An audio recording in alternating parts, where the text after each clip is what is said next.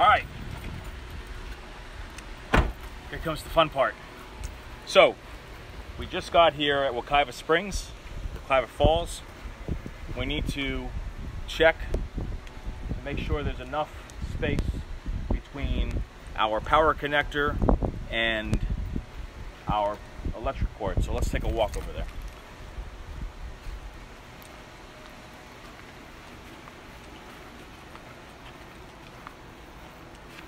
So once you pull in, make sure you have distance.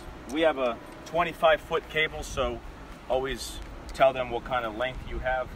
Um, they're pretty good here at Wekiva Falls as far as um, putting you where you are based off of your length of your cables. And uh, we are all hooked up, we're all good. And um, get the power going. It's the very first thing you want to do. Very, very first thing. Second thing you want to do is you want to make sure you have enough distance from your slide. You got no obstacles, no obstacles coming out. If you park next to a tree, you want to make sure that your slide can, of course, go outwards without any obtrusion. Now comes the fun part. We got to level the RV. This I hate, but this is part of RVing life, so come with me.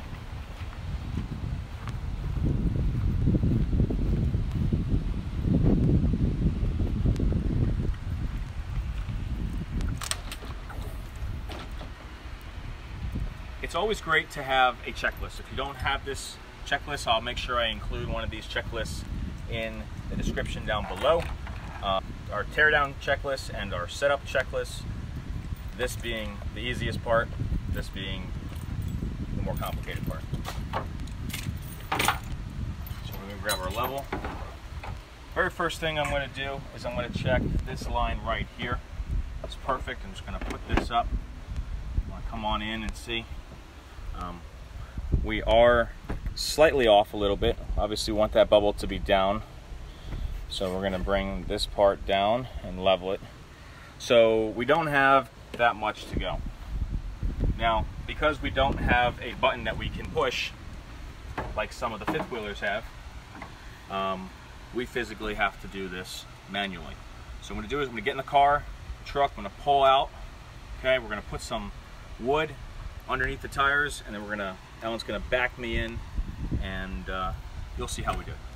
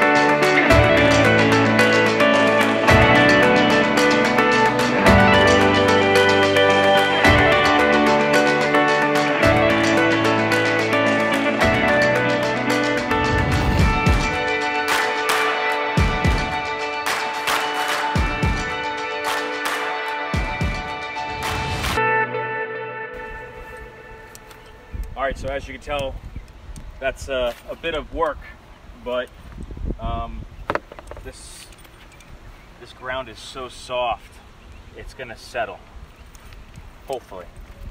And if it doesn't, well, that's the beauty of parking on a campground that has soil. And unfortunately, everything in Florida is swamp ground, so um, we'll just have to make it work. All right, so now that we are in place, we're to chock our tires.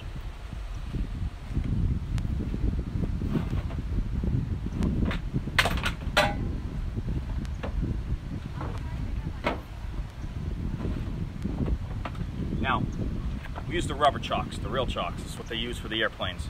I don't recommend, ever recommend using the plastic chocks because they're plastic and they're not durable. This is solid rubber and it works well. So we're to put one behind each tire.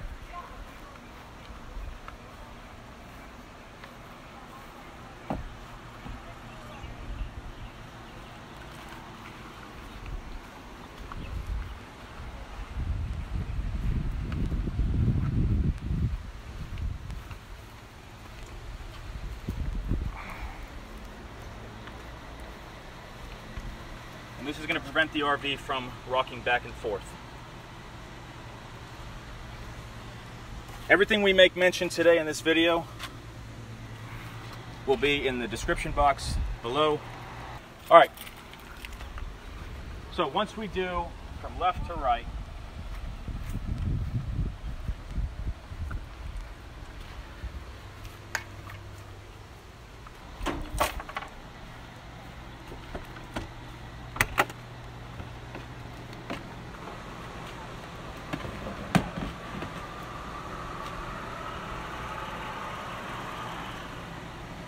So we're leaning a little bit more that way. But again, the soil will even back out eventually at some point. So I'm not going to worry too much about it.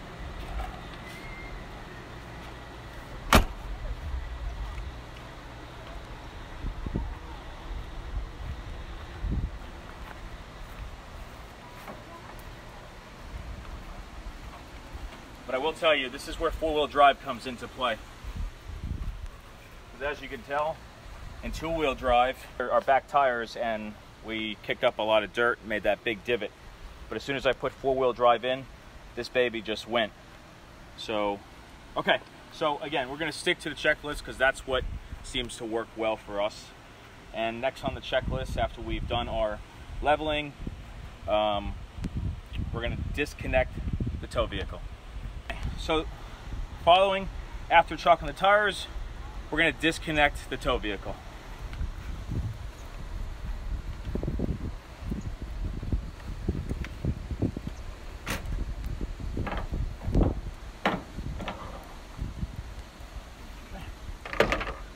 Need a couple tools to do that.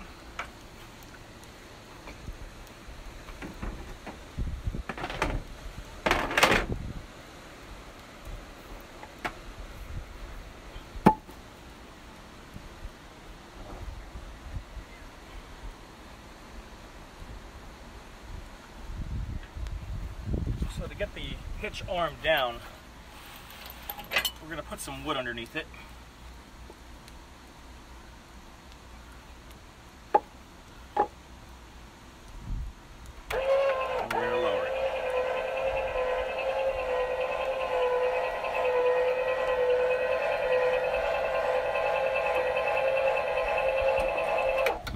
Stop. I wanna make sure this is right in the center.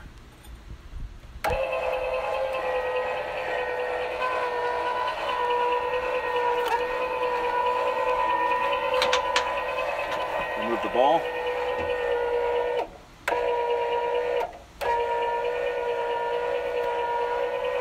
Then this is a good opportunity for us to see if we can remove this way.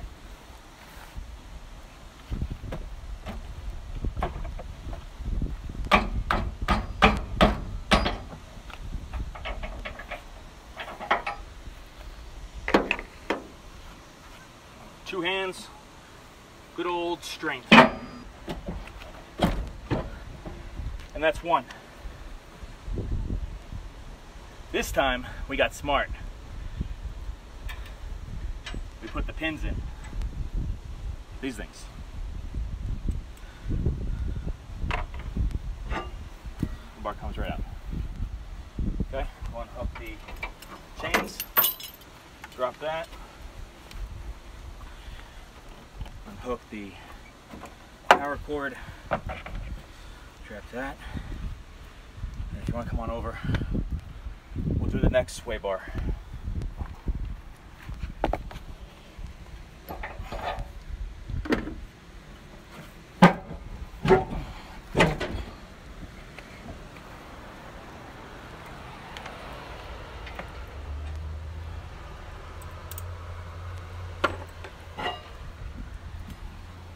All right, continue to raise it.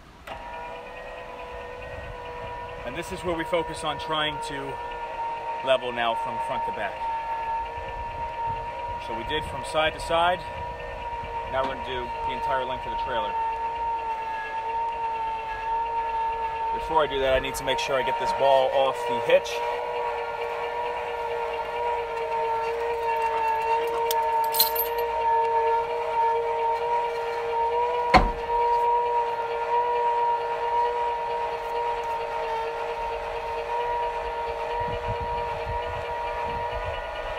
which it is.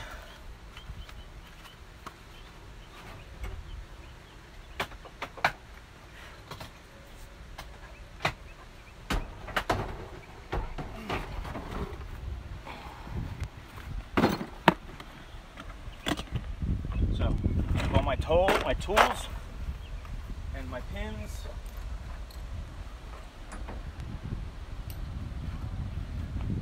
Here.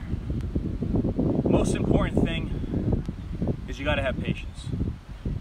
I don't always get it right, and we're working it together as a couple to develop patience on the setup and the breakdown part. But you don't want to be distracted. You don't want to be distracted. So take your time and do it right. All right, so that's all disconnected.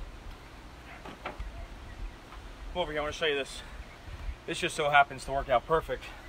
Storing this fits right in here, going like that. Look at that. All right. Now I'm going to pull forward.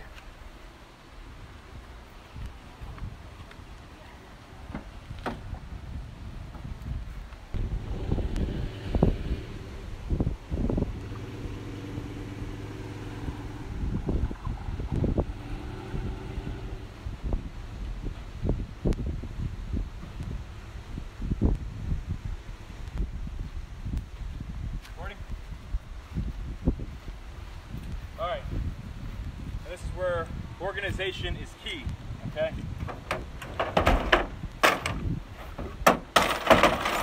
Making sure you pack your truck in an order that makes it easy to begin your next steps. We've got our wood. We're going to put that down in a second to pull down our stabilizers.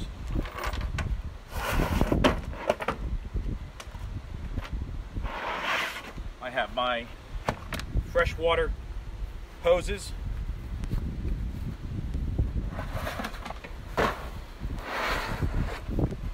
I got my air pump.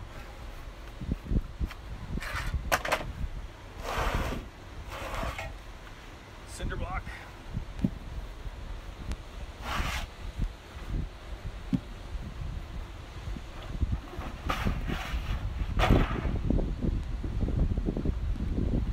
and my black tank equipment.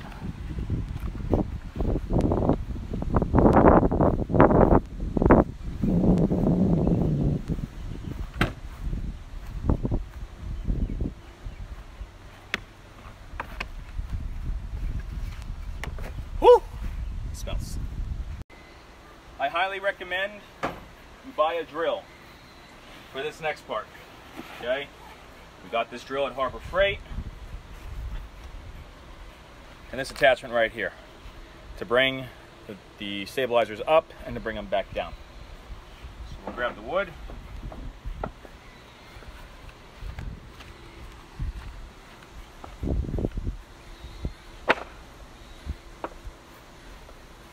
One on each side.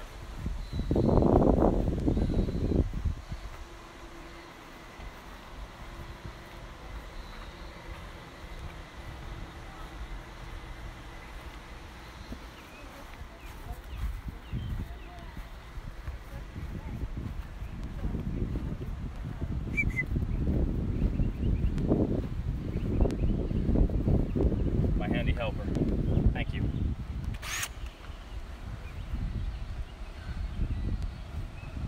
All right. Find a good solid surface. Bring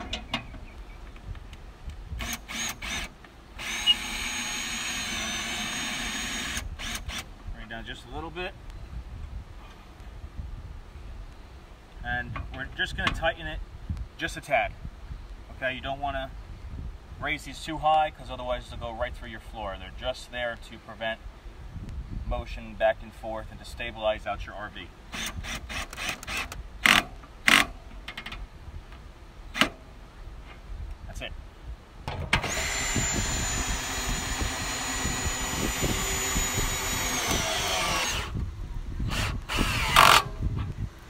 That's it. All right, so, so far, so far, we've completed the distance from the water to the power. We've got power hooked up. The side, the slides have enough room. We leveled left to right. We chocked our tires. We disconnected from our tow vehicle. We're leveling our trailer from front to back right now. So look at that. God is good. We are perfect. Perfect.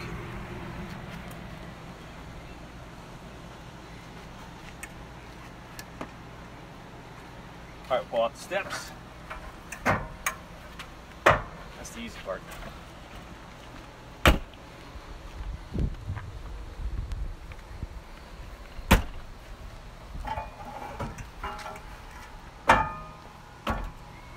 All right, so we deployed our stabilizers. We've leveled the trailer from front to back. We've connected the electric cord. Uh, if you have a surge protector, which I highly recommend you get, we haven't gotten one. Hopefully we get one soon. We're gonna connect our water hose. Then we're gonna check for our slide obstacles before we pull out the slide. And we're also going to check uh, that we're good to go with connecting our sewer hose. All right, so uh, let's go ahead and do the fresh water.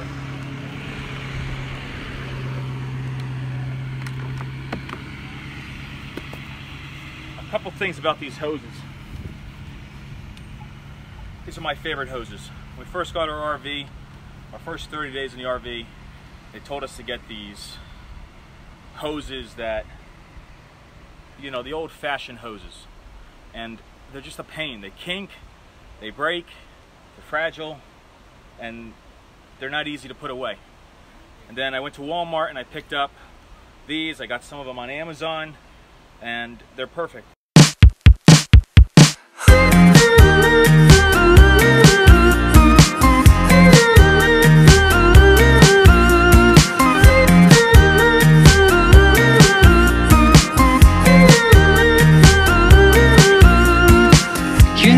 Have it all, it's just a state of mind. No matter what they say, you know you're always right. You got a heart of gold, the moon is on your side. No matter where you go, you're always in the light.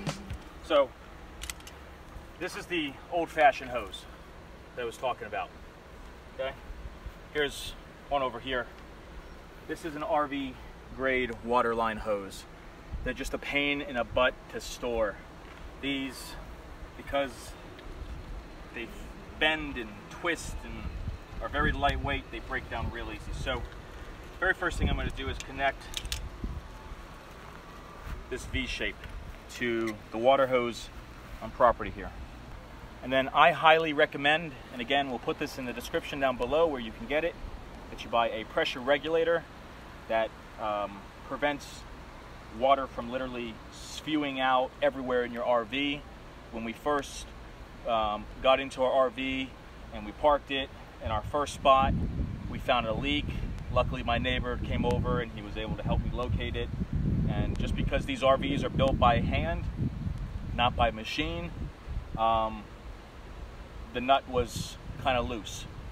Had we not had the pressure regulator, the water pressure would have loosened it even more, and then you got a disaster waiting to happen. Is that what's in there? Have? So that's what this is. So I have the hose, I have the freshwater hose connected to the pressure regulator. And the valve.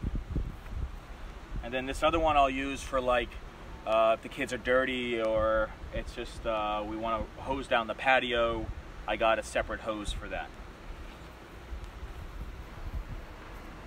You want to kind of keep your you want to try to keep your cable, hoses, everything organized, tucked underneath the RV because when maintenance people come by and they weed whack, Say that again. they don't care too much about your stuff. And it's we've been to places where you see they'll hit the sewer line and bust the person's sewer line without them even knowing. And then you got a whole big mess. So we got our hose hooked up, our freshwater hose over here. We're gonna take this out, okay? And this is where we're gonna connect the sewer. All right, so you always wanna put gloves on for this part. I mean, I don't mind doing it without it. Some people find that absolutely gross, but I wash my hands regardless. Um, these are called nitro gloves, and they're special gloves. They use them for painting, Mechanics will use them. They're just very durable gloves. If you buy the other gloves, cheap ones that you pay like a dollar for, um, you get what you pay for. They break. The latex, I think, is what they are. Um, so these called nitrols. I got these at Harbor Freight.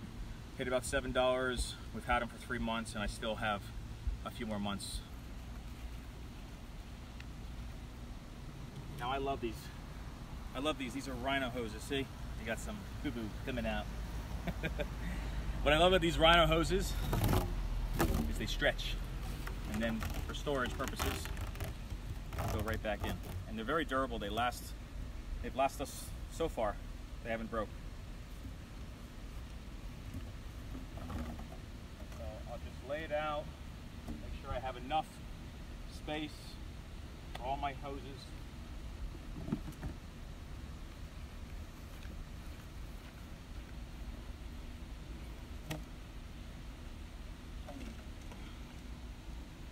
Which we do.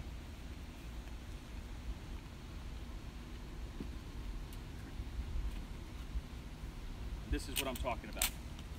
One of these things. They take your hoses, they push them off the ground so that when the weed whackers come around, they can't touch your hose. They'll bang this before they touch the hose.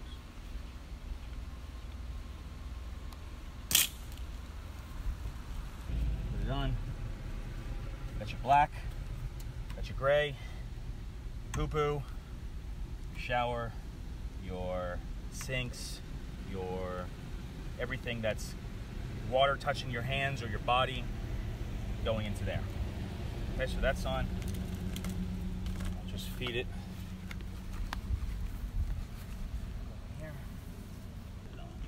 Here.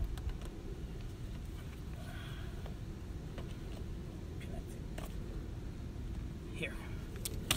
And now we'll just raise this hose off the ground.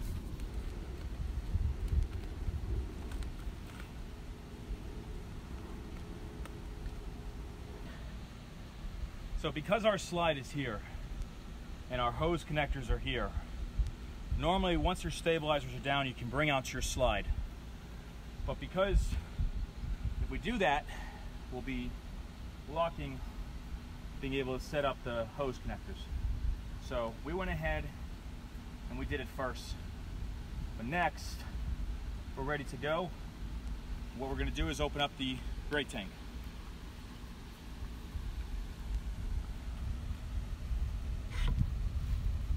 Okay. Now, you can leave the gray tank open because that's gonna fill up the quickest because you take showers, you wash your hands, you do your dishes. But what I like to do, and I highly recommend you do it this way, is twice a week, I open up the valves. Let me explain. Why? When I go to release the black tank, you don't want to leave the black tank open because if you leave the black tank open all the time, the poo-poo is going to eventually dry into the inside of your rhino hose and it's going to cake up. It could cause a block. I know it's graphic. I get it. Um, it will also dry and it'll break down your hose over time and that will crack it and you'll have to buy another hose. Here is a prime example for why we don't use hoses like this and we use the Rhino hose. This one has just a little leak, but that little leak can spew out essentially your crap everywhere and cause other issues. So, um, But our, twice ki- a week. our kind neighbor donated that to us when Yes, we didn't kind- have yeah. a long enough hose. Right, because we didn't have enough hose. But twice a week I'll come out, I'll open up the black tanks, I'll let that flood, and I'll close the black tank and I'll open up the gray tank and flush the line. And that system works better for me than leaving the gray tank open all the time. Okay? All right.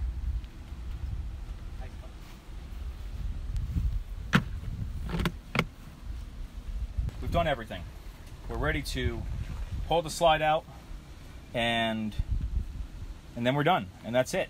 That's how you set up um, that's how we set up our Transcend 32 foot um, Grand Design RV. So let's go do that.